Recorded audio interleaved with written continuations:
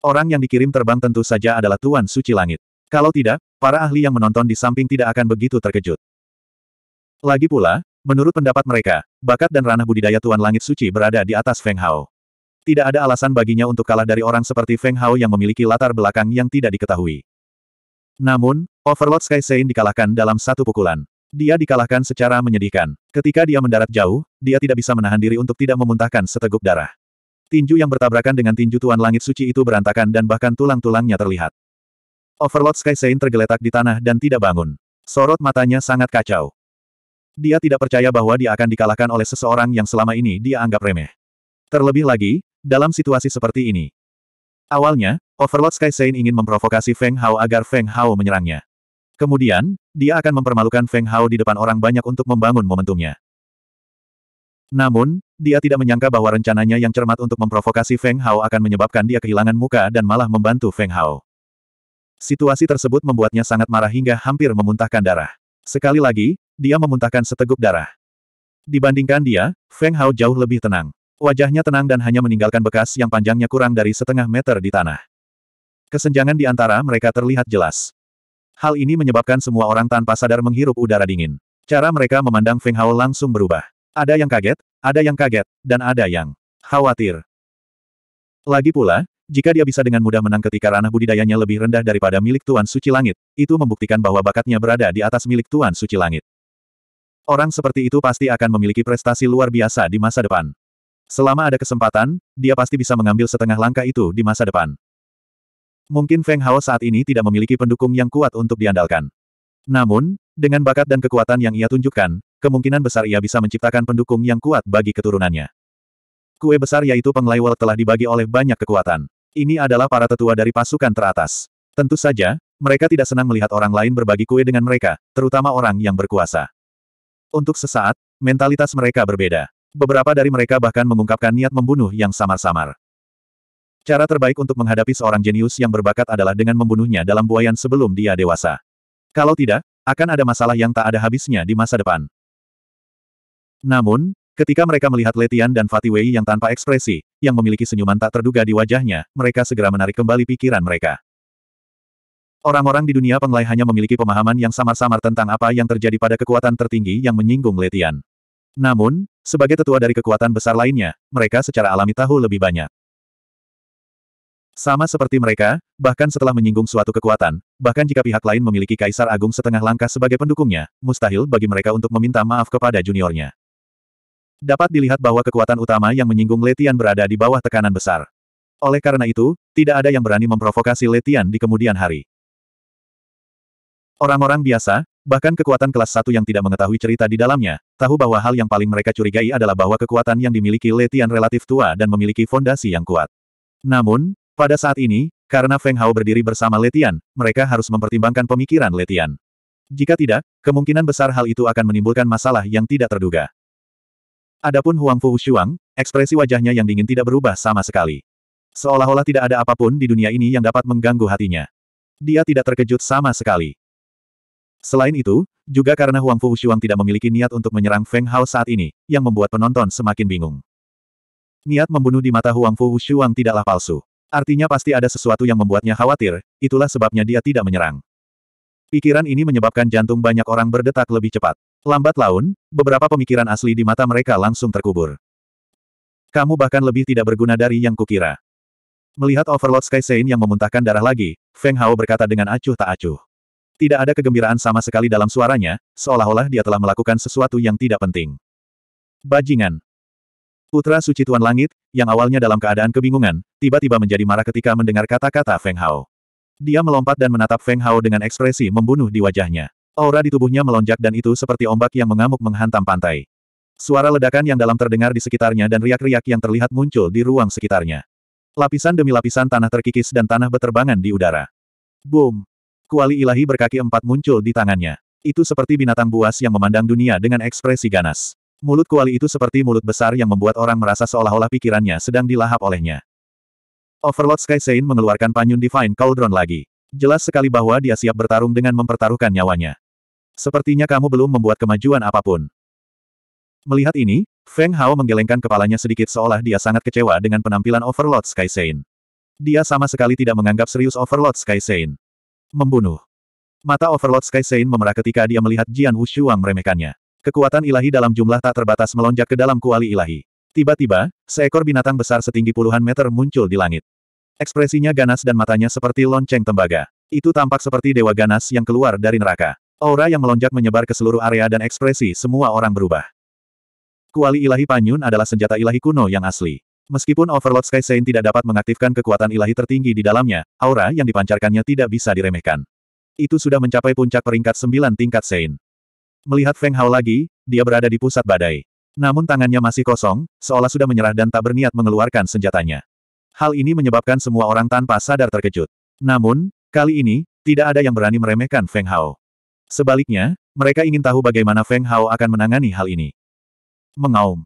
1762 Seekor binatang buas berukuran besar yang sepertinya mampu melahap matahari turun dari langit dengan kekuatan yang menakutkan hingga membuat hati seseorang bergetar.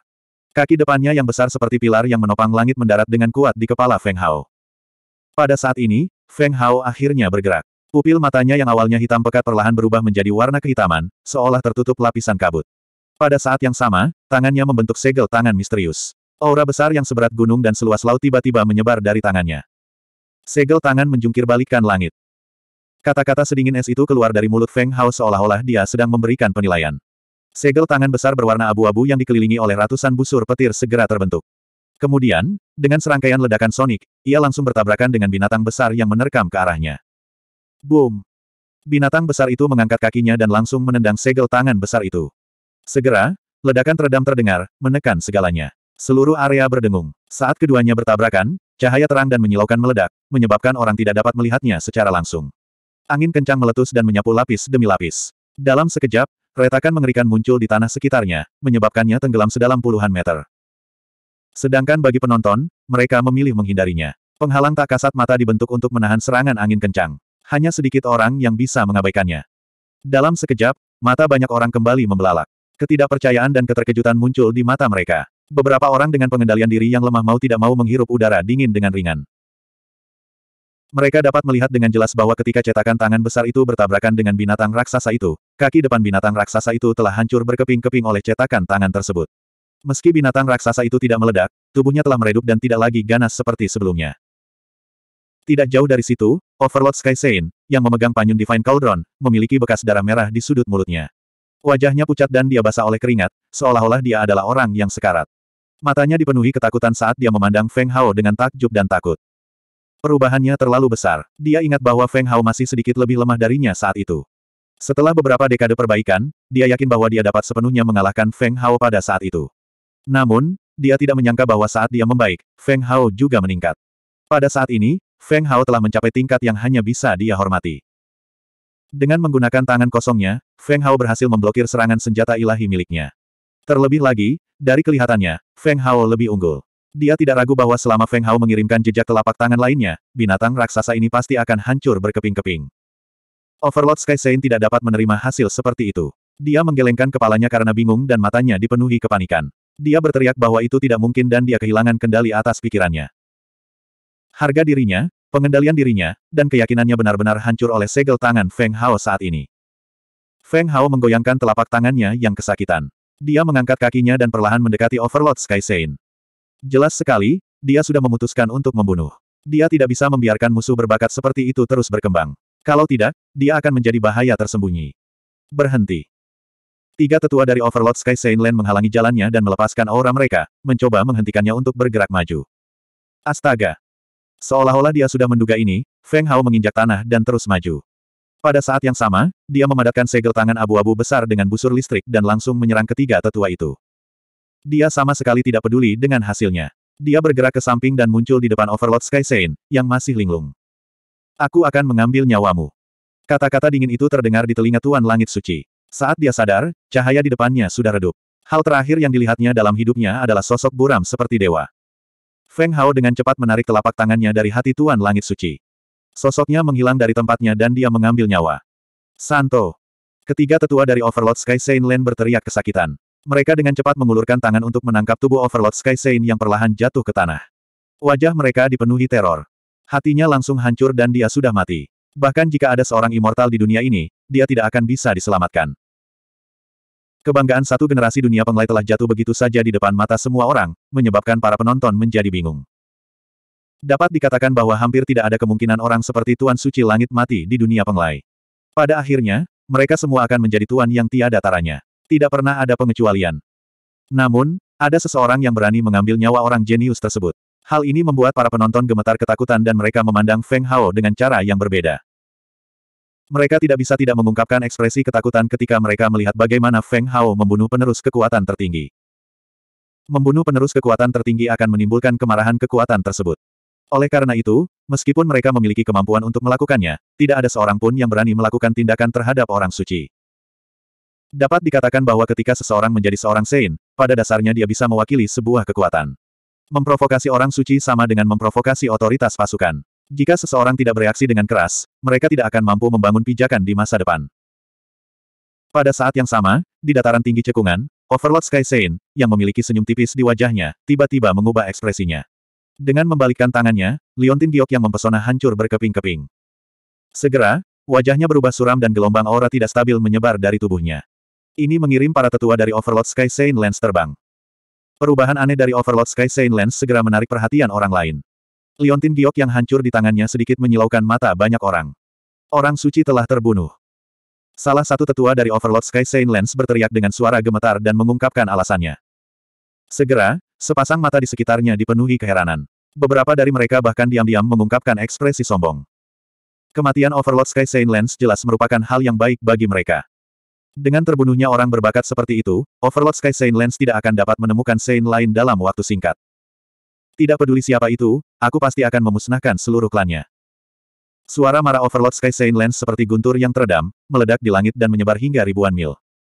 1763 Kematian Tuan Suci Langit telah menimbulkan keributan. Namun, bahkan Tuan Langit Suci tidak mencurigai Feng Hao. Bagaimanapun, putra suci dari Tuan Suci Langit dilindungi oleh sekelompok tetua pendiri. Orang biasa tidak mempunyai kemampuan itu. Oleh karena itu, Holy Master Overlord Sky Saint tidak mempersulit Jiang Feng. Beritanya belum menyebar, dan tidak ada yang tahu jawaban sebenarnya. Mereka hanya bisa memilih untuk menunggu. Pada saat ini, di depan jurang, ketiga tetua dari Tanah Suci Tuan dipenuhi amarah dan niat membunuh setelah kepanikan awal mereka. Nak, aku ingin kamu membayar dengan darahmu. Orang tua, yang berada di puncak alam suci Orde ke-9, meraung ke arah Feng Hao dengan ekspresi menyeramkan. Di saat yang sama, aura kuat tiba-tiba melonjak dari tubuhnya. Itu seperti gelombang mengerikan yang menutupi langit dan menutupi bumi saat ia menyerang Feng Hao dalam upaya untuk menghancurkannya. Dia jelas menggunakan tingkat kultivasinya untuk menekan Feng Hao, ingin menghancurkannya secara langsung. Di saat yang sama, dua doyan lainnya juga mulai bergerak. Mereka berubah menjadi dua binatang raksasa ganas yang mengikuti di belakang ombak dan maju menuju Feng Hao. Ini adalah situasi yang pasti mematikan. Ketiganya menyerang pada saat bersamaan, yang membuktikan bahwa mereka tidak berani meremehkan kekuatan Feng Hao. Lagi pula, dari serangan sebelumnya, mereka tahu bahwa Feng Hao mampu menampilkan kekuatan puncak Sein pangkat ke-9. Mereka tidak ingin mendapat masalah sebelum membalas dendam. Saat Feng Hao hendak melepaskan segel naga pemakan surga, gelombang yang menutupi langit langsung berkurang. Dua binatang raksasa di belakangnya merintih dan menghilang tanpa jejak. Bang! Setelah melayangkan pukulan dan meledakkan gelombang besar yang mengalir ke arahnya, Feng Hao kemudian melihat situasi di sisi lain. Seketika, ekspresi matanya menjadi lesu. Tiga tetua dari tanah suci Tuan perlahan jatuh ke tanah di depannya. Lalu, garis darah muncul di leher mereka. Darah segar mengalir keluar dan menodai tanah di sekitar mereka. Mereka tewas di tempat. Beberapa saat kemudian, Feng Hao menemukan bahwa orang-orang di sekitarnya telah mengalihkan pandangan mereka ke arah Letian, yang menghadap ke jurang. Ketakutan, ketakutan, panik. Segala macam emosi hadir di mata mereka. Tak perlu dikatakan lagi, ketika tiga tetua terkemuka dari tanah suci Tuan menyerang Feng Hao, mereka tidak menyangka Letian, yang berada di belakang mereka, tiba-tiba menyerang mereka.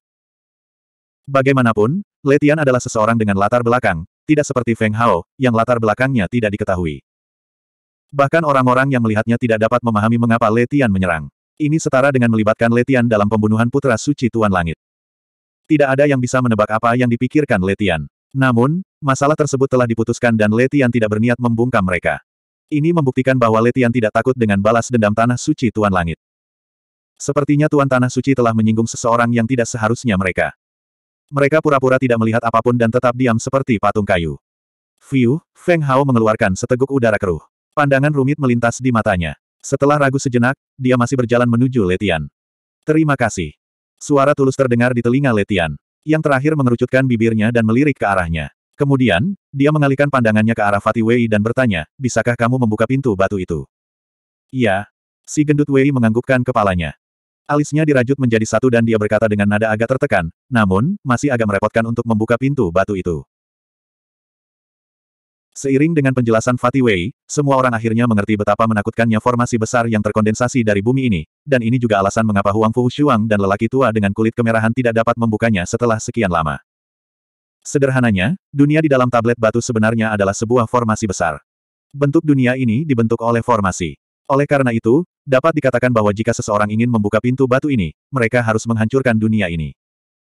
Hal ini menyebabkan semua orang tercengang, dan mereka praktis putus asa. Pintu batu itu terhubung ke seluruh dunia. Jika dunia ini dihancurkan, apakah dunia ini masih ada? Tanpa diragukan lagi, hal itu tidak akan ada. Oleh karena itu, pandangan orang banyak terus tertuju pada Fatih Wei. Karena itu adalah sebuah formasi, pasti ada cara untuk menghancurkannya. Tentu saja, mustahil untuk menghancurkan dunia ini. Namun, jika kita ingin membuka pintu batu, kita harus menemukan sembilan mata formasi yang tersembunyi di dunia ini dan menghancurkannya. Penatua berwajah merah yang datang bersama Huang Fu Wushuang berbicara dengan suara rendah. Ada kabut di matanya. Sembilan mata formasi semuanya tersembunyi. Kecuali kita bisa menggambar medan dunia ini, aku tidak akan bisa menentukan lokasi pasti dari mata formasi itu. Fatih Wei tersenyum padanya. Dia mengendurkan bahunya dan terus berbicara. Kata-katanya pasti membuat semua orang cemberut. Seberapa besar dunia ini, meski mungkin tidak sebesar domain di dunia luar, namun pastinya tidak kecil. Ingin menggambar medan seluruh dunia bukanlah sesuatu yang bisa dilakukan dalam waktu singkat. Kalau begitu, mari kita bagi pekerjaannya. Entah kamu menunjukkan mata formasinya atau kamu menggambar medannya. Fatih Wei memandang orang-orang dari empat faksi dengan niat jahat. Jelas sekali dia ingin membuat mereka bekerja keras. Hal ini menyebabkan ekspresi mereka tenggelam. Namun, saat ini memang tidak ada pilihan yang lebih baik. Lagi pula, mereka bahkan tidak tahu nama formasinya. Meskipun mereka sangat tidak mau, mereka tidak punya pilihan selain berpisah saat ini. Tidak lama kemudian, hanya Huang Fu Shuang, lelaki tua berwajah merah, Feng Hao, Letian, dan Fatih Wei yang tersisa di tempat ini. Suasana kedua pihak tidak harmonis. Kali ini, Letian secara mengejutkan tidak menggoda Huang Fu Shuang. Selain itu, Huang Fu Shuang tidak menyembunyikan permusuhannya terhadap Feng Hao. Sebab, suasana kedua pihak agak tegang. Kapan kalian benar-benar berjalan bersama dengan orang luar? Jarang sekali. Orang yang memulai topiknya adalah tetua berwajah merah. Kata-katanya mengandung sedikit ejekan dan ejekan. Tatapannya secara tidak sengaja menyapu Feng Hao, dan sedikit rasa jijik muncul di matanya. Bahkan ketika Feng Hao mengungkapkan kekuatannya sebelumnya, dia masih tidak menganggapnya serius. Dia tampak sangat meremehkan dan menganggap dirinya tinggi. Bahkan ada rasa jijik di matanya, seolah dia sedang melihat seekor semut. Hehe, Pak Tua Buta, kamu benar-benar orang yang sibuk. Dengan siapa kami berjalan-jalan tidak ada hubungannya denganmu. Siapa yang memintamu begitu usil? Fatih Wei langsung memarahinya. Kata-katanya sepertinya sangat melindungi Feng Hao. 1764. Feng Hao berdiri diam di samping dan tidak mengatakan apa-apa. Ekspresi wajahnya tidak berubah karena perkataan lelaki tua berwajah merah itu. Matanya sangat tenang. Dia tidak mengira hati dan temperamen lelaki tua yang tampak baik hati ini akan begitu rendah. Dia sama sekali tidak terlihat seperti seorang master. Dari mulut lelaki tua berwajah merah itu, tampaknya selain orang-orang di sisinya, selain Fatih Wei dan Letian, semua orang adalah eksistensi yang mirip dengan semut di matanya. Oleh karena itu, dia mengejek Fatih Wei, yang berada di pihak yang sama dengan semut. Namun, karena kecerobohannya sebelumnya, Fatih Wei melakukan serangan balik dengan paksa. Sebagai seorang Arai Grandmaster, dia tidak bisa menerima ejekan dari seorang junior. Namun, dia tidak bisa membantah. Seketika, wajahnya memerah saat dia menatap Fatih Wei dengan marah. Seolah-olah dia ingin memotong Fatih Wei menjadi beberapa bagian. Bukankah orang tuamu memberitahumu bagaimana cara menghormati orang lain? Kata lelaki tua berwajah merah itu sambil mengertakkan gigi. Matanya dipenuhi amarah. Itu tergantung apakah pihak lain itu manusia atau bukan. Fatih Wei menyeringai bahagia dan tidak takut padanya sedikit pun. Dia berkata, lagi pula, mengapa saya harus menghormati orang yang lebih lemah dari saya? Kamu, kamu. Orang tua berkulit kemerahan itu marah dengan perkataan Fatih Wei sampai-sampai tubuhnya gemetar. Tinjunya terkepal begitu erat hingga terdengar suara berderit. Kekuatan mengerikan terkondensasi di tubuhnya dan aura besar mengalir menuju Fatih Wei seperti gelombang pasang. Jelas, dia masih memiliki keraguan dan tidak berani menyerang Fatih Wei secara langsung. Orang tua, saya menyarankan Anda untuk berhenti memanfaatkan senioritas Anda. Saya tidak mempercayainya. Wei gemuk tidak bergerak. Dia berdiri di formasi besar dan menatapnya sambil tersenyum. Rasa jijik di sudut mulutnya terlihat sangat jelas. Saat mereka berdua berdebat, aura yang sangat menakutkan meledak dari tubuh Huang Fu Shuang dan langsung menarik perhatian semua orang. Gemuruh. Lingkaran cahaya lima warna yang mempesona mengelilingi tubuhnya. Lingkaran cahaya itu bergerak seolah-olah nyata dan menciptakan riak yang terlihat. Dia seperti seorang dewi yang turun dari surga. Dia luar biasa, cantik, dan kuat. Seluruh tubuhnya memancarkan aura yang membuat jantung berdebar-debar sehingga membuat orang tidak berani memandangnya secara langsung. Boom! Huang Fu Wushuang tidak mengucapkan sepatah kata pun. Dengan lambaian telapak tangannya yang berwarna putih giok, pita lima warna langsung mengenai dada Feng Hao. Niat membunuhnya sangat menakjubkan, dan dia tidak menunjukkan belas kasihan sedikitpun. Surga membalikkan cetakan telapak tangan. Feng Hao sepertinya sudah menduga hal ini. Tidak ada rasa panik di wajahnya. Kedua matanya ditutupi lapisan kilau abu-abu. Dengan membalikkan tangannya, sebuah telapak tangan besar langsung ditampar olehnya, meledak ke arah pita. Boom! Tanpa ragu sedikit pun, pita itu langsung menghantam cetakan telapak tangan besar berwarna abu-abu. Seketika, suara ledakan rendah muncul dari pusat tabrakan. Kemudian, cetakan telapak tangan berwarna abu-abu tersebut justru terbelah seperti jaring laba-laba karena serangan tersebut. Pada akhirnya, itu meledak dengan suara keras. Angin kencang langsung menghempaskan Feng Hao, dan dia mendarat lebih dari 20 meter jauhnya. Dia terhuyung mundur lima atau enam langkah besar, menciptakan serangkaian lubang dalam di bawah kakinya sebelum dia berhenti. Noda pucat muncul di wajahnya. Huang Fu Wushuang jauh lebih kuat dari yang dia bayangkan. Tidak hanya tingkat kultivasinya lebih tinggi darinya, kekuatan yang dia tunjukkan juga tidak kalah dengan miliknya. Baru sekarang Feng Hao tahu mengapa Huang Fu Wushuang bisa menahan serangannya di bawah hukuman surga. Dapat dikatakan bahwa jika hukuman surga tidak turun, orang yang akan jatuh pasti adalah Feng Hao sendiri. Serangan tiba-tiba Huang Fu Wushuang menyebabkan lelaki tua berwajah kemerahan itu tercengang, dan dia bahkan melupakan provokasi Fatih Wei. Dia memiliki pemahaman tentang Huang Fu Wushuang. Junior ini tidak hanya luar biasa berbakat, tapi dia juga sangat tenang dan tenang. Namun, saat ini, dia tampak seperti orang yang sama sekali berbeda. Mungkinkah itu dendam lama? Orang tua berwajah kemerahan itu sangat terkejut. Di antara mereka yang seumuran, jika mereka menyinggung Huang Fu Shuang, tidak banyak yang bisa bertahan. Namun, Feng Hao, semut yang dianggap remeh, tidak hanya selamat, tetapi dia juga berteman dengan Letian dan Fatih Wei. Ini membuatnya mengevaluasi kembali Feng Hao. Dia sebenarnya tidak menderita luka apa pun. Melihat bahwa Feng Hao hanya menderita akibat ledakan, lelaki tua berwajah kemerahan itu terkejut lagi. Dia sangat jelas tentang bakat Huang Fu Shuang. Bahkan jika mereka berada pada tingkat kultivasi yang sama, sebenarnya tidak banyak orang di dunia ini yang dapat melawannya. Adapun Feng Hao, anak yang tidak diketahui asal-usulnya, dia sebenarnya bisa disandingkan dengannya. Bagaimanapun, Huang Fu Shuang masih memiliki keuntungan besar dalam hal tingkat budidaya. Jadi ngomong-ngomong, bakat Feng Hao belum tentu kalah dengan Huang Fu Shuang. Fatih Wei awalnya ingin bergerak, tapi dia melirik Letian dan melihat bahwa dia tidak berniat bergerak, jadi dia memilih untuk terus berdiri di samping dan menonton. Bagaimanapun, Feng Hao tidak terlalu dirugikan sekarang. Meskipun dia berulang kali diledakkan kembali, dia masih mampu menghadapinya. Bang, bang, bang. Serangan Huang Fu Wushuang menjadi semakin ganas. Dia melambaikan tangannya, dan dua pita menyembur keluar tanpa henti. Mereka membawa gelombang ledakan sonik yang menakutkan saat mereka berubah menjadi dua bayangan warna-warni yang memaksa Feng Hao ke dalam kondisi yang sedikit menyedihkan, dan dia bahkan hampir diledakkan beberapa kali. Pertama, dia merasa bersalah di dalam hatinya. Kedua, memang ada kesenjangan besar antara dia dan Huang Fu Shuang. Namun, ini juga alasan mengapa dia tidak menggunakan kartu asnya. Naga petir hukuman surgawi adalah makhluk hidup yang lahir dari kehendak destruktif langit dan bumi. Delapan di antaranya setara dengan delapan hukuman surgawi yang turun pada saat bersamaan. Bahkan Raja Agung setengah langkah pun akan mengalami perubahan ekspresi di wajah mereka. Setelah digunakan, Feng Hao yakin 80% bahwa dia bisa menang. Namun, dia tidak ingin menggunakan kartu asnya dalam situasi seperti ini. Huang Fu Wushuang menyerangnya segera setelah orang-orang dari pasukan lain pergi. Itu cukup untuk menunjukkan seberapa dalam kebencian Huang Fu Wushuang terhadap Feng Hao. Bang, bang. Setelah ledakan keras, Feng Hao sekali lagi terlempar. Wajahnya tertutup debu, dan pakaiannya hancur. Otot-ototnya yang kuat terlihat sepenuhnya, dan dia mengeluarkan perasaan yang meledak-ledak. Sial, apa kamu sudah selesai? Setelah menderita kerugian satu demi satu, hati Feng Hao dipenuhi dengan kebencian. Matanya langsung dipenuhi dengan kekejaman, seperti binatang buas yang hendak melahap mangsanya. Dia bingung. Meskipun dia telah memanfaatkan Huang Fu Shuang dua kali, dia masih belum mengambil langkah terakhir. 1765 Feng Hao juga tidak memiliki kesan yang baik terhadap Huang Fu Shuang. Selain penampilannya yang cantik dan bakatnya yang luar biasa, tidak ada hal baik tentang dirinya. Dia penuh dengan dirinya sendiri dan sangat memikirkan dirinya sendiri. Seolah dunia berputar di sekelilingnya. Feng Hao bisa melihat ini sejak pertama kali mereka bertemu. Oleh karena itu, dia sama sekali tidak tergerak oleh kecantikan tertinggi Huang Fu Shuang. Dia memahami orang-orang seperti dia dengan sangat baik. Terlebih lagi, dapat dikatakan bahwa dia memiliki pemahaman yang mendalam tentang mereka. Semakin berbakat seseorang, semakin kuat fondasinya, dan semakin jelas mereka menampilkan temperamen luhurnya. Orang-orang seperti itu tidak akan mempunyai teman karena mereka egois dan tidak membiarkan siapa pun melampaui mereka.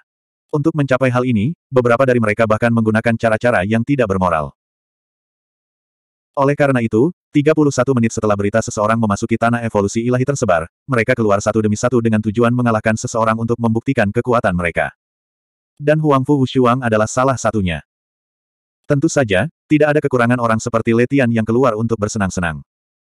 Bagaimanapun juga, kultivasi adalah hal yang menjemukan dan membosankan. Banyak orang yang tidak tahan dengan kesepiannya, jadi tidak masalah selama mereka bisa menemukan alasannya. Namun pada saat ini, Huang Fu Shuang selalu menganggapnya sebagai korban dan dengan percaya diri membalas dendam padanya. Apa yang dia andalkan untuk melakukan ini? Tidak diragukan lagi, kekuatannya hanyalah salah satu aspeknya, dan itu terutama karena dia memiliki dukungan yang kuat. Bagaimana mungkin Feng Hao tidak marah? Ledakan, ledakan. Saat lapisan busur listrik putih muncul di mata Feng Hao, Letian tiba-tiba bergerak, langsung mencegat pita mempesona Huang Fu Shuang, dan berdiri di depan Feng Hao. Meski dia tidak mengatakan apa pun, tindakannya sudah menunjukkan sikapnya.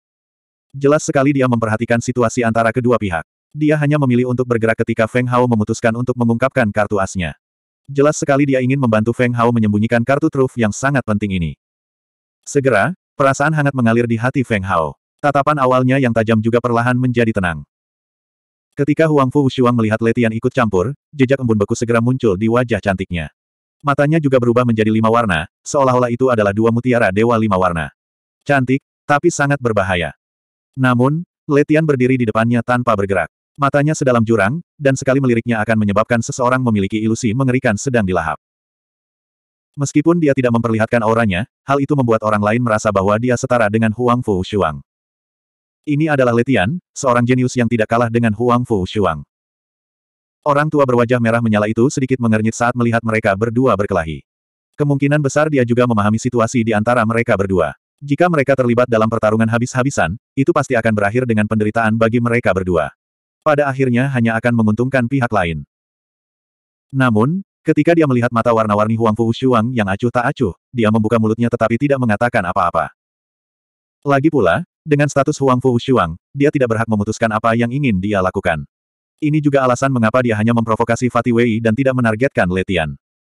Penting untuk mengetahui keterbatasan diri sendiri. Kalau tidak, seseorang tidak akan bisa hidup lama meskipun dia memiliki kemampuan luar biasa. Apakah kamu yakin ingin ikut campur? Suara Huang Fu Wushuang sedingin es. Lingkaran cahaya lima warna yang menyelimuti tubuh halusnya beriak lapis demi lapis, dan memancarkan aura besar yang menakutkan hati. Letian tidak memiliki lidah yang fasih seperti sebelumnya, dan dia menjawab dengan diam. Namun, posisinya telah membuatnya berdiri dengan jelas. Jadi, kamu hanyalah orang tidak berguna yang hanya tahu cara bersembunyi di balik seorang wanita. Setelah keheningan yang lama, tatapan Huang Fu Shuang mengarah ke Feng Hao, dan kata-katanya mengandung penghinaan yang mendalam. Jangan mengira aku tidak bisa melakukan apa pun padamu. Saat kita bertemu lagi nanti, aku pasti akan mengambil nyawamu dengan kedua tanganku sendiri. Sama-sama kapan saja. Feng Hao sedang dalam suasana hati yang baik karena serangan Letian, dan dia menyeringai dalam-dalam pada Huang Fu Shuang, menyebabkan sudut mulut Huang Fu Shuang bergerak-gerak tanpa terasa. Dia langsung berbalik dan tidak memperhatikannya lagi. Memang benar, dia tidak pernah bisa mendapatkan keuntungan apa pun melawan Feng Hao. Sebaliknya, dia akan selalu dipermalukan oleh Feng Hao. Ketika dia memikirkan hal-hal memalukan itu, rona merah muncul di wajah cantiknya, dan segera berubah menjadi sedingin es. Meski hanya sekilas, lelaki tua di sampingnya, yang bersinar merah, melihatnya dengan jelas. Segera, lidahnya sedikit keluh. Huang Fu Wushuang sebenarnya merasa malu. Dia menggosok matanya, dan dia sepertinya berpikir bahwa matanya sedang mempermainkannya, dan dia sedikit tidak percaya. Namun karena ulahnya tersebut, wajah cantik Huang Fu Wushuang seketika berubah menjadi semakin muram.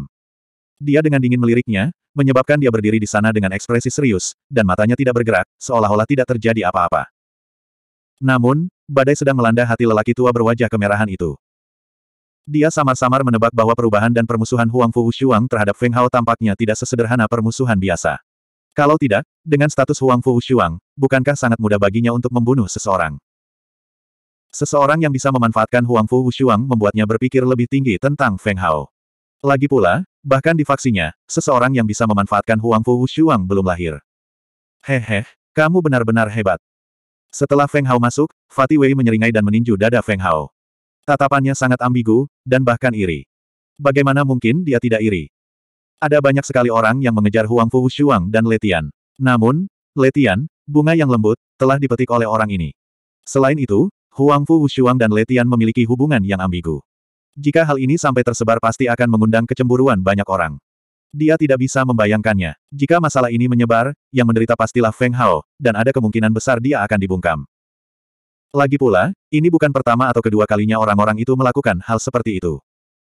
Feng Hao dengan malu-malu tersenyum, dan diam-diam melirik Letian. Setelah melihat bahwa dia tidak marah, dia bertanya pada Fatih Wei, Saudara Wei, apakah harta karun yang dapat memberikan keabadian di balik pintu batu ini? Berikan keabadian. Fatih Wei tersenyum aneh, lalu langsung berkata, apakah menurutmu ada harta ilahi yang dapat memberikan keabadian di dunia ini? Tetapi, Feng Hao tertegun dan menatapnya dengan bingung.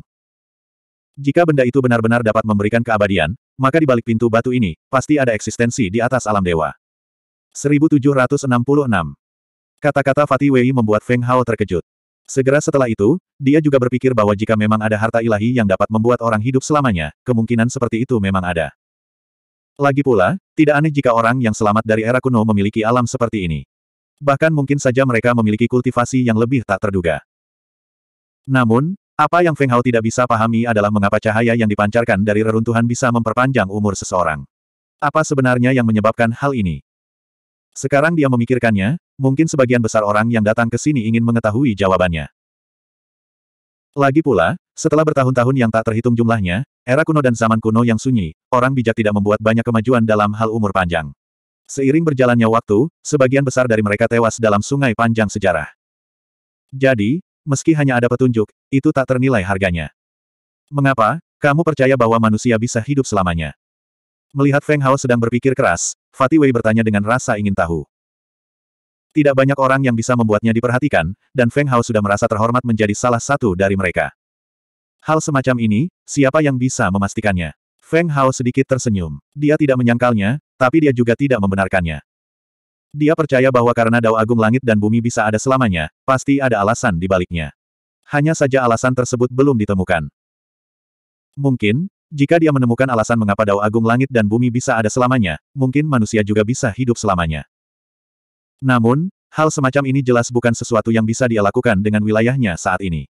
Dan tujuan Feng Hao saat ini adalah mematahkan belenggu saat ini dan menjadi seorang kaisar. Hidup ini singkat, dan dia tidak bisa tinggal di tempat yang sama. Fatih Wei membuka mulutnya, tapi dia tidak membantahnya. Sebaliknya, dia memandang Feng Hao dengan ekspresi aneh. Dia tidak tahu kenapa, tapi dia merasa Feng Hao sepertinya sedang memikirkan masalah keabadian yang tidak realistis, dan dia ingin mencapainya. Masih terlalu dini bagi orang-orang itu untuk kembali. Mengapa kita tidak pergi dan membunuh beberapa binatang kuno terlebih dahulu? Setelah berdiri di sana kurang dari tiga detik, dia dengan bersemangat menyarankan kepada Feng Hao. Tentu. Setelah melirik Letian, Feng Hao mengangguk. Dengan demikian, mereka bertiga meninggalkan tempat ini dan memasuki pegunungan yang naik dan turun terus-menerus sekali lagi untuk mencari jejak varian binatang purba. Ketika mereka melihat ini, Huang Fu Shuang dan lelaki tua yang awalnya berdiri di tempat itu saling bertukar pandang, dan kemudian mereka melesat menuju pegunungan di arah lain. Lagi pula, binatang purba dengan garis keturunan murni seperti ini sangatlah langka. Setengah hari kemudian, para tetua dari berbagai faksi akhirnya kembali ke jurang satu demi satu. Baru kemudian Feng Hao dan yang lainnya, yang telah memperhatikan tempat ini, segera kembali. Beberapa peta disatukan. Meskipun deskripsi medannya tidak terlalu detail, namun gambaran umum medannya tidak jelas. Ngarai ini, di sini, dan di sini. Temukan sembilan tempat ini, lalu hancurkan medan di sana. Itu sudah cukup. Ketika Huang Fu Wushuang dan lelaki tua itu kembali, Fatih Wei dengan cepat menunjukkan lokasi sembilan inti formasi. Terlebih lagi, dia menyeringai puas pada lelaki tua itu, menyebabkan wajah lelaki tua itu langsung berubah muram.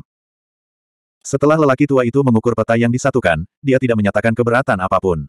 Ini berarti tidak ada yang salah dengan apa yang dikatakan Fatih Wei. Untuk sesaat, semua orang memandang Fatih Wei dengan tatapan membara. Bagaimanapun, dia masih muda dan pasti akan membuat terobosan di masa depan. Oleh karena itu, prestasinya di masa depan pasti berada di atas orang tua. Setelah itu, karena keenam faksi tersebut terbagi menjadi enam faksi, tidak ada yang saling percaya, dan tidak ada yang ingin melemahkan kekuatan faksinya. Situasi langsung menemui jalan buntu. Aku sudah tahu kalau kalian akan bertingkah seperti ini. Fatih Wei bergumam dan menyarankan, karena semua orang tidak mau pergi, maka hanya ada dua pilihan. Pertama, terus berlarut-larut. Kedua, pergi bersama. Tanpa ragu, semua orang memilih opsi kedua. Meskipun lelaki tua berwajah merah itu sedikit tidak mau bersama dengan keberadaan yang seperti semut di matanya, tidak ada yang mengizinkannya menjadi istimewa saat ini. Karena kali ini, mereka sudah mengetahui arah peta dan bergerak dengan tujuan tertentu, secara alami mereka sangat cepat. Dalam waktu kurang dari dua jam, medan dari sembilan inti formasi dihancurkan sepenuhnya oleh mereka. Saat kembali ke jurang dataran, sekelompok orang bergegas maju dengan sekuat tenaga. Tidak ada keraguan bahwa yang berada di depan adalah Huang Fu Shuang dan lelaki tua itu. Adapun Feng Hao, Fatih Wei, dan Letian, mereka mengikuti di belakang semua orang dan berada di belakang. Jika kamu ingin menjadi buruh, larilah lebih cepat. Ini adalah kata-kata asli Fatih Wei. Oleh karena itu, Feng Hao bukannya tidak sabar. Dia tergantung di belakang, tidak terburu-buru atau lambat. Gemuruh. Di tengah suara keras, pintu batu di tebing akhirnya terbuka. Segera, aura kuno melonjak keluar dari dalam, menyebabkan hati semua orang menggigil dan wajah mereka dipenuhi ketakutan. Itu karena mereka merasakan aura yang menyebabkan rambut mereka berdiri tegak dari aura tersebut. Itu sangat kuat, sangat kuat hingga tak terlukiskan. Mereka bahkan merasa bahwa sebelum aura ini, mereka hanyalah wujud yang mirip dengan semut. Perasaan tidak berdaya langsung muncul di hati mereka. Mungkinkah memang ada dewa yang hidup? Feng Hao, yang baru saja tiba, merasakan aura kuat yang menyebabkan jantungnya berdebar. Keterkejutan dan ketidakpercayaan segera muncul di matanya. Aura ini tidak mungkin palsu. Itu sangat kuat sehingga dia merasa bahkan Kaisar Agung setengah langkah seperti Jiang Feng tidak dapat dibandingkan dengannya. Jelas sekali, aura ini tampaknya telah melampaui alam Kaisar Agung setengah langkah. Setelah beberapa saat, ketika cahaya perlahan menyinari pintu batu, pemandangan mengejutkan muncul di depan mata semua orang. Di balik pintu batu, tidak terlalu luas. Itu seperti sebuah ruangan rahasia kecil. Di dalamnya ada banyak rak buku. Segala macam gulungan dan catatan bertumpuk di rak buku ini, tidak menyisakan banyak celah. Namun, di tengah ruangan batu ini, ada seorang lelaki tua berambut putih yang mengenakan pakaian kuno. Dia sedang duduk bersila di atas loh batu hitam. Ini bukanlah kerangka, tapi seseorang, seseorang yang hidup. Aura menyesakkan keluar dari tubuhnya. Tanpa terasa, hal itu seolah mampu mempengaruhi aliran hukum langit dan bumi. Sangat menakutkan. Mundur. Orang-orang dari empat kekuatan besar berteriak ketakutan. Mereka segera mundur, tidak berani tinggal sedetik pun. 1767 di kejauhan, beberapa orang yang masih memperhatikan keadaan berdiri di atas puncak pohon dan mengawasi dari jauh. Dalam waktu singkat, mereka melihat orang-orang dari empat kekuatan besar mundur dengan cepat. Seketika, rasa terdesak muncul di hati mereka. Ya Tuhan, sebenarnya ada seseorang yang hidup di ruangan batu itu. Seseorang yang bermata tajam berteriak kaget. Suaranya bergema di sekitarnya, dipenuhi keterkejutan dan ketakutan, seolah-olah dia telah melihat sesuatu yang sulit dipercaya. Setelah dilakukan penilaian, tempat ini dipastikan menjadi basis kekuatan puncak dari zaman kuno. Namun, karena alasan yang tidak diketahui, tempat itu menjadi sunyi sepi. Tidak peduli apa alasannya, orang-orang yang ada di area inti kekuatan puncak dari zaman kuno ini tidak mungkin lemah. Dalam sekejap, bahkan mereka yang berada jauh pun ketakutan. Beberapa dari mereka bahkan dengan cepat lari ke belakang, tidak berani tinggal lebih lama lagi. Jika itu benar-benar dewa, maka tidak ada satupun penyusup yang bisa meninggalkan tempat ini hidup-hidup. Eranya sudah terlalu jauh, tidak ada yang ingat di alam mana para dewa berada. Namun, satu-satunya hal yang mereka tahu adalah bahwa bahkan seorang kaisar agung pun dapat dengan mudah membunuh siapa pun yang memasuki relik ini. Saat ini, bahkan ada orang yang menyesal. Karena mereka tahu bahwa ada harta karun panjang umur di tempat ini, bagaimana mungkin tidak ada kemungkinan seperti itu. Namun, pandangan Feng Hao tertuju pada manik biru yang melayang di atas kepala lelaki tua itu. Matanya berkedip karena berbagai emosi. Itu adalah manik spiritual. Feng Hao, yang telah melihat dua manik spiritual, secara alami dapat mengenali objek familiar ini. Hanya dengan pandangan sekilas, dia yakin bahwa itu adalah manik spiritual. Kemudian, sebuah pemikiran terlintas di benaknya. Manik-manik spiritual benar-benar bisa membuat orang menjadi abadi. Meskipun selalu ada rumor bahwa manik spiritual mengandung rahasia keabadian, tidak ada yang bisa mengetahui kebenaran dari manik spiritual. Tidak ada yang bisa memahami jalan keabadian dari manik spiritual. Bahkan dikabarkan bahwa Evil Immortal Sovereign, yang mengejutkan satu generasi di zaman kuno, telah mengumpulkan beberapa manik spiritual. Oleh karena itu, dikabarkan bahwa dia telah memahami metode rahasia untuk membuat manusia abadi. Meski hanya rumor, namun masih ada dasar tertentu di baliknya.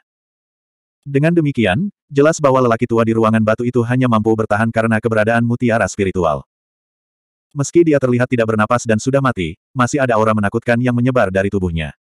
Ini sangat jelas terlihat. Mungkin, Mutiara spiritual tidak hanya melindungi tubuh fisiknya, dan dia seharusnya tetap hidup. Untuk beberapa alasan, Feng Hao benar-benar memikirkan wanita misterius berpakaian putih di surga Suanming di benua seratus ras ketika dia melihat lelaki tua berambut putih itu. Situasi ini sangat mirip. Mereka juga terkait dengan manik-manik spiritual, dan keduanya merupakan sisa-sisa dari zaman kuno. Orang-orang pada masa itu benar-benar masih hidup. Mereka selamat, emosi Feng Hao tidak lagi tenang saat ini. Gelombang mengerikan melonjak di dalam hatinya. Dari apa yang dia lihat, sudah ada dua contoh. Pasti ada lebih banyak kasus serupa. Mutiara spiritual adalah harta paling misterius di dunia. Itu bisa mendatangkan banyak keajaiban. Mungkin, di zaman dahulu, banyak orang berbakat yang memperolehnya dan memahami satu atau dua teknik khusus. Ya Tuhan, iya. Jantungnya bergetar, dan seluruh tubuhnya gemetar. Jika lelaki tua berambut putih ini benar-benar dewa yang hidup, perubahan apa yang akan dia bawa ke dunia ini?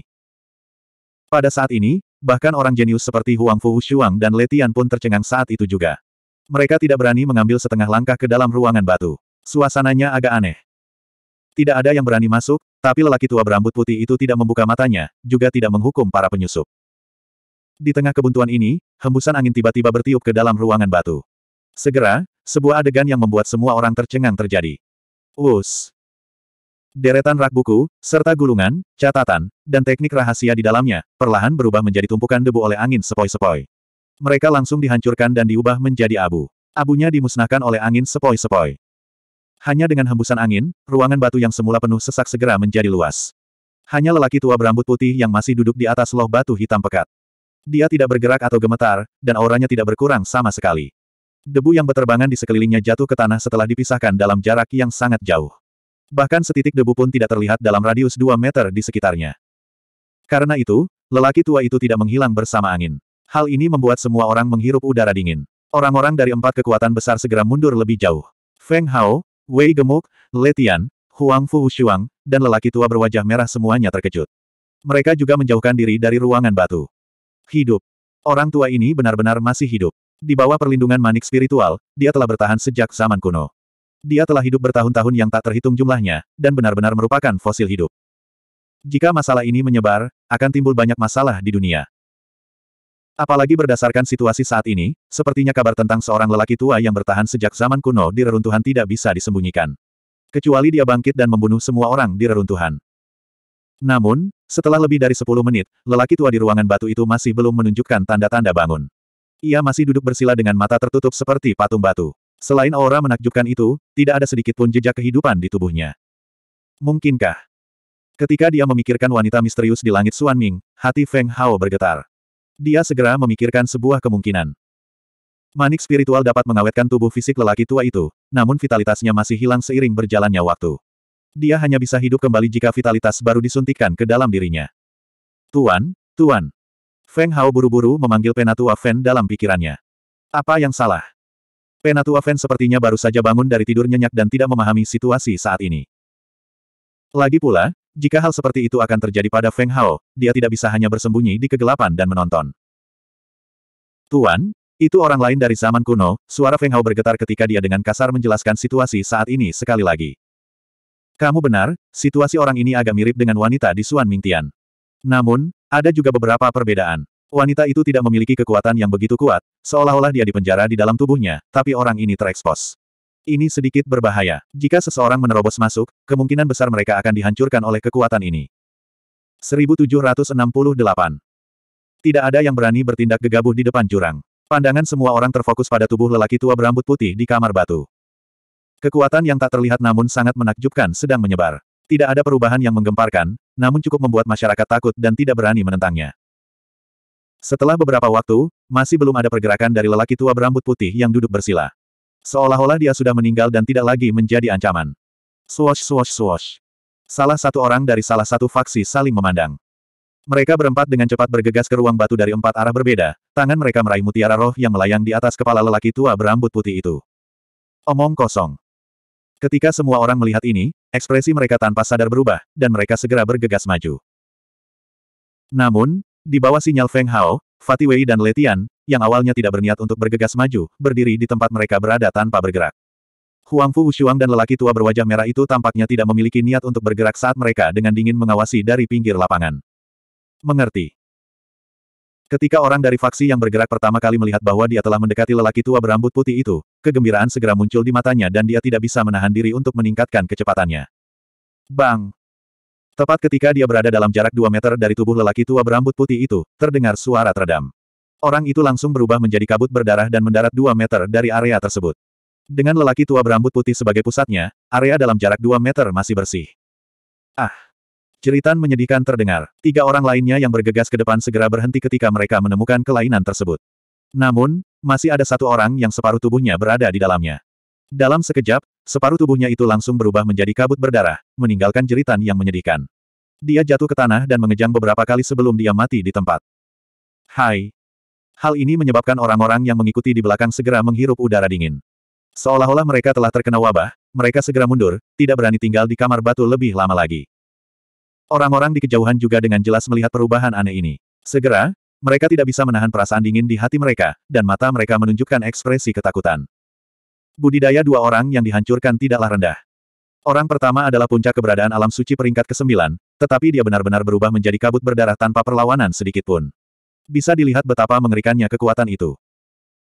Semula semua orang curiga meski tubuh lelaki tua berambut putih itu masih ada, ia sudah tidak hidup lagi dan tidak lagi menjadi ancaman. Namun, tidak ada yang menyangka bahwa kekuatan di sekelilingnya masih ada, dan itu masih sangat menakutkan. Itu bukanlah sesuatu yang bisa dibandingkan dengan ahli alam Sein. Bagaimana ini mungkin? Kekuatan hidupnya jelas telah terputus, lalu mengapa aura ini masih ada? Semua orang tidak dapat memahami hal ini, dan kepala mereka dipenuhi kebingungan. Mereka yang lebih perhatian akan dapat mengamati bahwa jangkauan aura ini sepertinya hanya 2 meter di sekitar lelaki tua itu. Dengan kata lain, selama seseorang tidak mendekat dalam jarak 2 meter dari lelaki tua itu, tidak akan ada bahaya apa pun. Juga karena abu rak buku dan gulungan di ruang batu itulah Letian dan Huang Fu Wushuang mengetahuinya. Itu sebabnya mereka tidak terburu-buru maju. Benar saja, orang-orang serakah ini sekarang muntah darah karena penyesalan. Mereka yang tidak terburu-buru maju tidak akan menjadi lebih baik. Semuanya bersuka cita. Terlalu kuat. Melihat ahli puncak alam suci peringkat ke-9 dengan mudah dihancurkan di depannya, emosi Feng Hao melonjak dan matanya dipenuhi dengan keterkejutan. Aku khawatir Kaisar Agung setengah langkah pun akan hancur di area itu, kata Penatua Fen sambil menghela nafas. Matanya berkedip dengan ekspresi yang tak terlukiskan. Ia menyesal tidak dilahirkan di era ini. Munculnya para ahli adalah apa yang dia butuhkan. Tuan, bagaimana kita mengambil manik spiritual? Pandangannya beralih ke manik spiritual biru tua di kepala lelaki tua berambut putih itu. Feng Hao tidak bisa menahan alisnya dan bertanya dengan sedih. Jika seperti yang dikatakan Penatua Fen, bahkan ahli Kaisar Agung setengah langkah pun akan hancur, lalu bagaimana dia bisa mengambil manik spiritual tanpa mendekatinya? Ini. Penatua Fen juga terdiam. Jelas, dia belum pernah menghadapi situasi seperti ini. Terlebih lagi, dengan kemampuannya saat itu, dia takut tidak akan mampu melakukan hal seperti itu. Dapat dikatakan bahwa perbedaan antara dia dan Feng Hao saat ini bukan lagi dalam hal kekuatan, tetapi pengetahuan. Kecuali dia bisa bangun. Setelah ragu-ragu untuk waktu yang lama, Penatua Fen memberikan jawaban seperti itu berdasarkan situasi wanita misterius di Suan Ming Sky. Bangun. Sudut mulut Feng Hao bergerak-gerak tanpa sadar. Dia bergidik seolah memikirkan situasi yang menakutkan. Jika lelaki tua ini benar-benar bangun, lalu siapa yang bisa menghentikannya? Satu orang membantai semua orang di dunia. Meskipun orang tua ini mungkin bukan seorang penguasa, dia pasti bisa melakukan apa yang bisa dilakukan oleh seorang penguasa. Menekan seluruh generasi dan membantai semua orang di dunia. Penguasa generasi masa lalu telah menginjakkan kaki di jalur pertumpahan darah, menginjak-injak semua ahli dari generasi yang sama agar bisa naik ke posisi penguasa tertinggi. Sekarang, bahkan Kaisar Rilem telah disegel. Sejak era Purbakala, tidak ada seorang pun yang mampu naik ke alam itu. Seolah-olah dunia telah berubah, dan tidak ada seorang pun yang bisa melewati jurang yang dalam. Setiap grid Dao telah disegel. Kecuali seseorang dapat menempuh jalan yang belum pernah dilalui oleh siapa pun dan mematahkan belenggu langit dan bumi, barulah mereka dapat membawa kabar baik kepada dunia. Tampaknya di era Purbakala, itu juga karena seseorang telah memasuki alam kaisar sehingga menghasilkan era yang makmur. Kini, belenggu langit dan bumi belum terbuka. Mungkin, keberadaan Kaisar Rilem tidak akan muncul. Bahkan jika keberadaan Kaisar Rilem ada, budidayanya pasti akan ditekan. Aku tidak bisa membiarkan dia bangun. Setelah merenung sebentar, Feng Hao dengan tegas menggelengkan kepalanya. Kebangkitan lelaki tua berambut putih ini mungkin akan membawa beberapa hal yang tidak terduga. Dia tidak bisa mengambil risiko ini hanya karena dia ingin mendapatkan manik spiritual. Lagi pula, dia memiliki dua manik spiritual, tetapi dia tidak tahu cara menggunakannya. Ini membuat Feng Hao merasa bahwa mereka tidak berguna dan tidak dapat diabaikan. Namun, ketika dia melihat manik spiritual melindungi tubuh lelaki tua yang tidak bisa dihancurkan itu, entah kenapa, dia merasa bahwa manik spiritual itu pasti menyembunyikan sebuah rahasia besar. Manik-manik spiritual telah ada sejak penciptaan dunia. Mereka sepertinya terlahir dalam kekacauan, dan mereka ada seperti dewa kuno. Sangat mungkin bahwa manik spiritual adalah kunci umur panjang. Pada akhirnya, tidak ada yang bergerak. Itu seperti sekawanan serigala yang mengelilingi landak. Mereka tidak tahu harus mulai dari mana. Apakah mereka tidak punya ide? Setelah merenung sejenak, Feng Hao melirik Letian dan Huang Fu Shuang dan menyipitkan matanya. 1769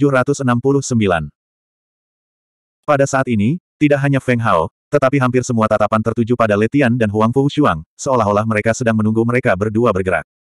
Mau bagaimana lagi? Menghadapi wilayah kekuasaan lelaki tua berambut putih yang mengesankan itu, semua orang bingung. Hampir semua orang sudah menyerah. Mereka sudah berada di langkah terakhir, dan harta ilahi ada tepat di depan mereka, tetapi mereka tidak dapat memperolehnya. Perasaan ini membuat semua orang merasa tertekan hingga muntah darah. Mutiara Rohani Bahkan jika mereka tidak memilikinya sebelumnya, ada deskripsi bentuk mutiara spiritual di beberapa buku kuno. Namun, deskripsi penggunaan mutiara spiritual sangat kabur. Tidak ada jawaban yang pasti. Namun, setelah kejadian ini, pasti akan ada rekor lain. Mutiara spiritual dapat memperpanjang umur seseorang. Fakta bahwa seseorang dari era kuno mampu menjaga tubuh fisiknya dan tidak hancur oleh waktu sudah cukup untuk menunjukkan betapa besarnya energi mutiara spiritual. Itu sudah mencapai tingkat yang tidak dapat diabaikan oleh siapa pun. Mungkin, meskipun ada berita tentang mutiara spiritual di masa lalu, tidak banyak orang yang mau datang ke sana. Namun, di masa depan, setiap kali ada berita tentang mutiara spiritual, itu pasti akan memicu pertumpahan darah yang hebat. Fatih Wei menyipitkan matanya dan mengalihkan pandangannya ke tubuh lelaki tua berambut putih itu untuk waktu yang lama sebelum dia bergumam, kekuatan ini seharusnya tidak ada di alam kaisar. Kata-katanya tidak keras, tapi semua orang yang mendengarkan dengan telinga terbuka dapat mendengarnya dengan jelas. Mata mereka yang semula dipenuhi keputusasaan langsung dipenuhi secercah harapan. Tidak jauh dari situ, lelaki tua berwajah merah itu tidak berkata apa-apa, tapi dia juga tidak membantah perkataan Fatih Wei. Sepertinya dia diam-diam menyetujui kata-kata Fatih Wei. Sejak era primordial, belum ada keberadaan Kaisar Rilem. Tidak ada apa pun di masa lalu, dan tidak ada apa pun di masa sekarang, kecuali seseorang dapat mematahkan belenggu tersebut. Namun, jelas sekali bahwa tidak ada seorang pun di dunia ini yang memiliki kemampuan untuk melakukan hal tersebut. Oleh karena itu, menurut catatan kuno pasukan mereka, Wei Gemuk dan lelaki tua berwajah merah telah mengkonfirmasi hal ini. Kaca, kaca.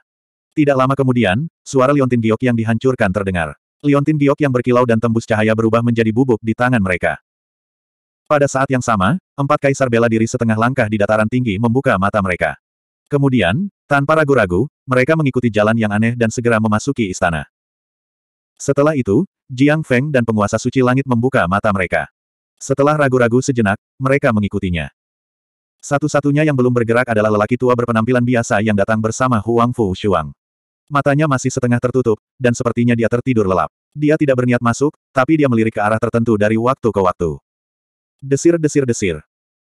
Bersamaan dengan suara yang menusuk, empat penguasa setengah langkah lainnya, kecuali Jiang Feng dan penguasa langit suci, muncul di depan jurang.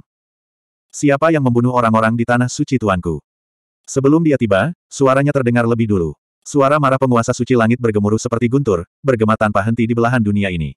Aura kekerasan langsung menekan, menyebabkan manusia dan binatang di bagian dunia ini menjadi panik. Tanpa keberadaan kaisar bela diri ekstrim, penguasa setengah langkah adalah batasnya. Mereka adalah eksistensi tertinggi. Ketika penguasa setengah langkah marah, dunia pun akan berguncang. Hampir dalam sekejap, penguasa suci langit dan Jiang Feng tiba di waktu yang bersamaan. Sekilas, mata penguasa langit suci bersinar dengan keheranan lagi. Dia baru menyadari bahwa para founding elder yang telah memasuki istana terbaring tidak jauh dari sana, dan mereka telah lama meninggal. Seketika dia kaget dan marah. Tatapannya menyapu kerumunan seperti pisau, dan akhirnya mendarat di Feng Hao.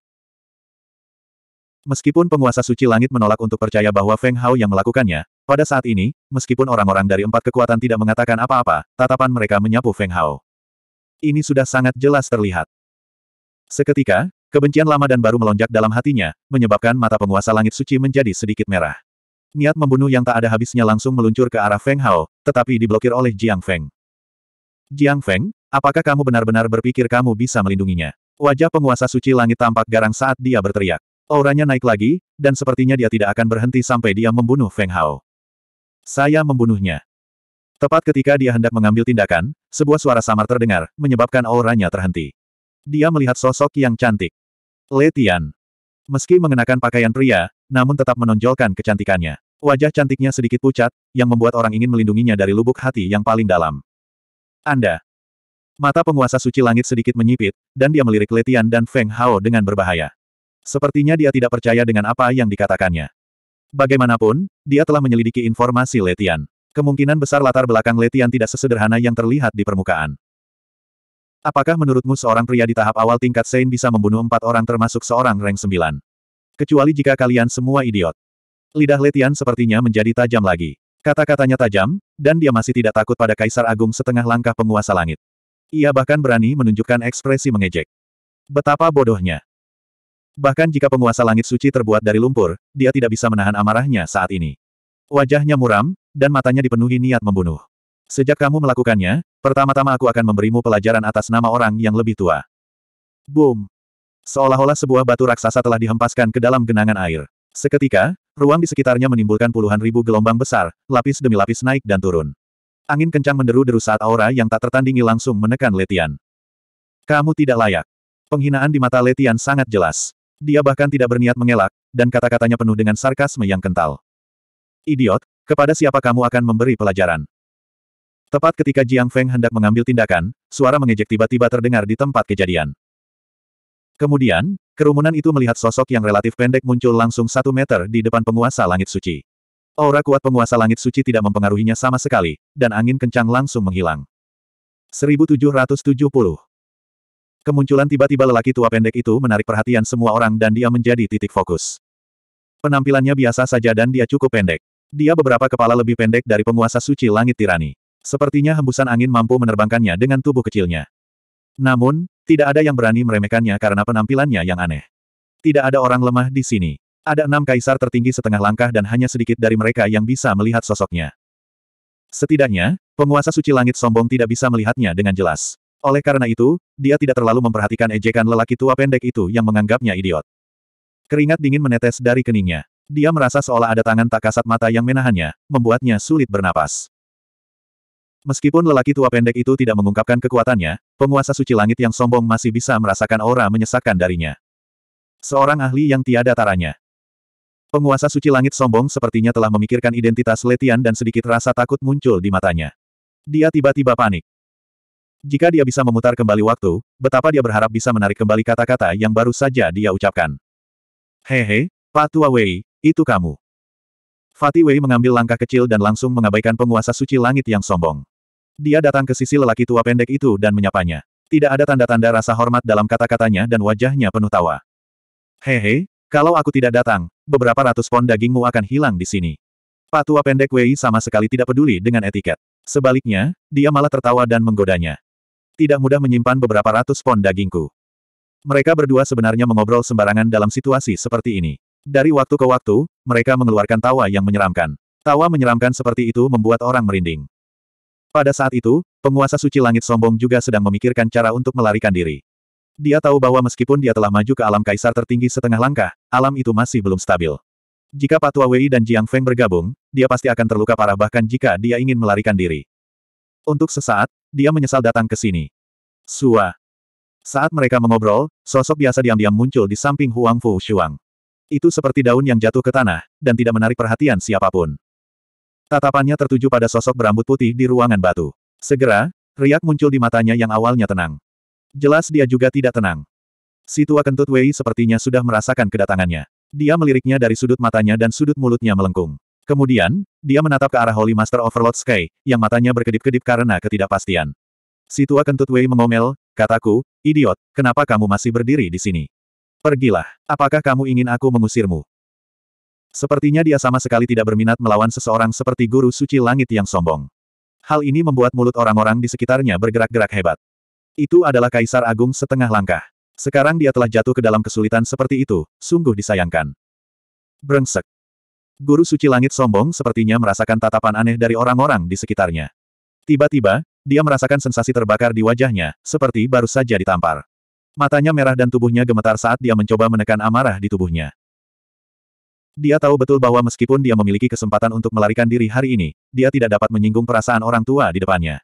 Kalau tidak, ini akan menjadi hari kiamat yang sesungguhnya. Tanah suci langit yang sombong akan rata dengan tanah. Sua. Tanpa banyak pertimbangan, dia menunjukkan ekspresi enggan saat dia mengalihkan pandangannya ke manik spiritual yang tergantung di atas kepala lelaki tua berambut putih di ruang batu. Baru kemudian dia berbalik dan pergi sambil dipenuhi amarah. Sebuah lubang tanpa dasar tertinggal di tanah tempat dia berdiri. Ada retakan yang menyebar ke segala arah. Penguasa agung setengah langkah terpaksa pergi hanya dengan beberapa kata. Hal ini menyebabkan orang-orang di kejauhan memusatkan perhatian mereka pada si tua kentut Wei sekali lagi. Si tua kentut Wei tidak mempedulikannya. Dia juga melihat ke ruangan batu. Setelah beberapa saat, matanya menjadi waspada, dan bahkan sedikit berat. Si tua kentut Wei, jangan bilang kalau orang di dalam sana benar-benar dewa. Melihat ekspresi si tua kentut Wei berubah, senyuman di wajah Fatih Wei menghilang. Wajah gemuknya menarik dan dia bertanya dengan getir. Sejujurnya, setelah mengenal si tua kentut Wei, ini adalah pertama kalinya dia melihat lelaki tua kecil itu mengungkapkan ekspresi seperti itu. Terlihat lelaki tua di ruangan batu itu memiliki kekuatan yang luar biasa. Iya.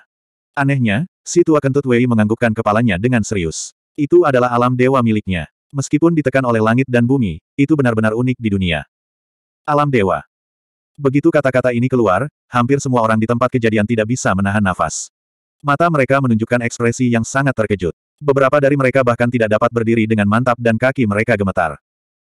Jelas sekali, alam dewa pasti merupakan eksistensi yang mengejutkan dunia. Tuan, apakah alam dewa itu? Feng Hao adalah satu-satunya yang bertanya kepada Penatua Fen tentang wilayah dewa dalam pikirannya dengan ekspresi bingung di wajahnya. Alam dewa, seperti namanya, adalah wilayah para dewa. Legenda mengatakan bahwa hanya dewa yang dapat menciptakan alam dewa. Di alam dewa itu, dia adalah penguasanya. Bahkan Kaisar Agung hanya bisa dibantai di alam dewa. Alam dewa. Setelah Penatua Fen menekan keterkejutan di hatinya, dia perlahan menjelaskan. Suaranya juga sedikit bergetar. Itu adalah sesuatu yang hanya bisa dilakukan oleh para dewa. Setelah mengetahui seperti apa keberadaan alam dewa itu, Feng Hao tidak bisa menahan diri untuk tidak terkesiap. Di zaman kuno, ada alam, orang suci, kaisar, dewa, penguasa, dewa kuno. Dia selalu tidak mengerti mengapa kaisar agung dan para dewa, yang keduanya berada di puncak langit dan bumi, berada di dua alam yang berbeda. Hari ini, dengan penjelasan Penatua Fen, dia akhirnya mengerti. Kaisar Agung memang telah mengembangkan Dao Agung Langit dan Bumi secara ekstrim. Namun, para dewa dapat bersirkulasi dengan dao agung langit dan bumi.